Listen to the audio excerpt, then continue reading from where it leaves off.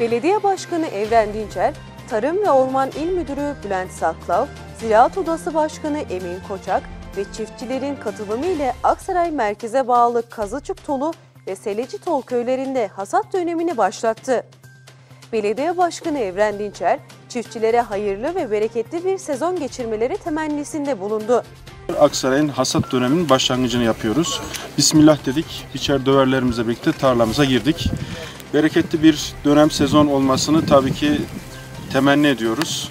Aksaray'ımız tarımda ve hayvancılıkta ülkemizde e, ön sıralarda yer alan, yer alan illerimizin arasında.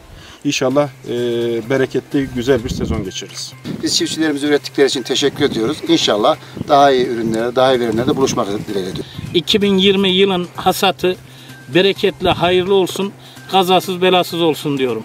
Yapılan konuşmaların ardından Belediye Başkanı Evren Dinçer, Tarım ve Orman İl Müdürü Bülent Saklav ve Ziraat Odası Başkanı Emin Koçak ile birlikte biçer dövere bindi.